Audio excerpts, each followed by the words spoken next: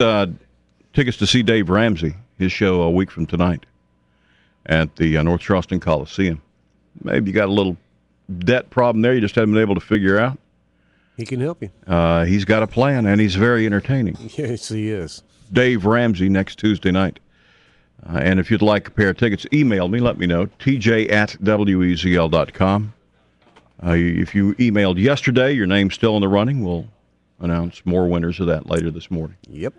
All right. Uh, now, Ric, I, I didn't hear the entire conversation, but as I was walking by in a hall, I heard you say something you about you were doing. You were friendly with a sheep on Rivers Avenue. What? What? no, I said on a Saturday, I was driving up Rivers Avenue, Yeah. and you know that stoplight right there at Target by the HH Gregg. Yeah. And then there's a Sticky Bones there. Right. And then there's a uh, a mattress store. right.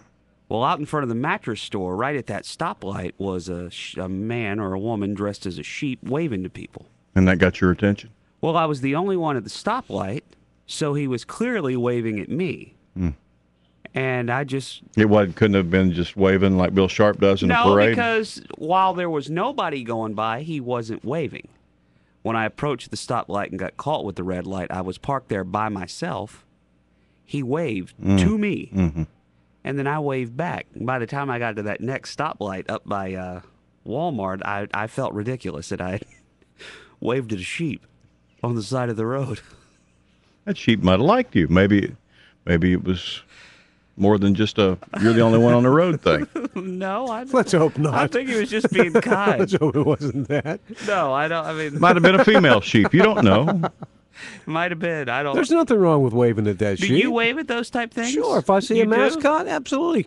Because if if I've ever been in a mascot suit and I'm waving, I want people to respond to me.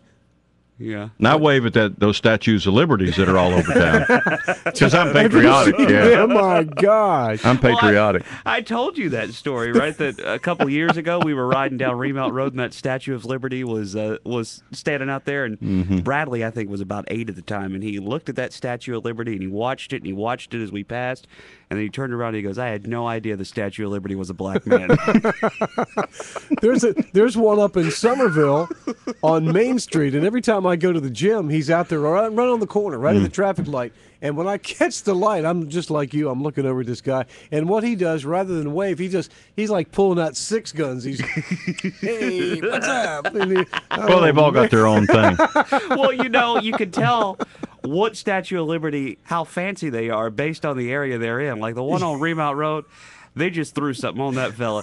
But the one on uh, the, the Statue of Liberty that's in West Ashley on Highway 17, he's got a head. And I mean, he's got a fancy outfit. There's something to be said about being a mascot. You, You know, think? that's right. Well, you know, if you need the job, you need the job. It's Because it's you work. Can, you can be totally out of character than you I would normally rather are. I would rather be in a sheep suit than be one of those guys that's just standing there holding that sign on the side of the road at the corner at the intersection that says, you know, Going out of business. yeah, or- exactly. And they pay them just to stand there all day. I mean, they're just in their regular clothes and stuff, Well, like the uh, smoking cigarettes and holding that sign or leaning up against, the, you know, uh, asleep and you know.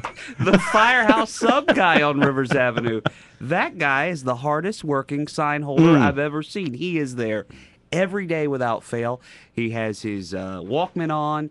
He's dancing. And he almost makes makes, it you want to go in there. Putting on a show. Makes He it is, entertaining. man. I almost right. go in there and get me a I'm sub. telling you, it's work. You, you you just you know it just it, it's what you put in it. It doesn't matter what the job is. It's what you put in it. You know. Well, I put and that a- sheep was was wanting you just wanting you to feel good about coming by there. You know? I appreciated that. I felt ridiculous though. Um, and I, I put that on Facebook yesterday that I waved at the sheep just to see what the response would be. And some lady said the funniest thing she'd ever seen was uh, the the sheep was on break. And when she passed him, and he had the head off, and he was smoking a cigarette, just just standing out there, half a sheep, with a man head, smoking a cigarette.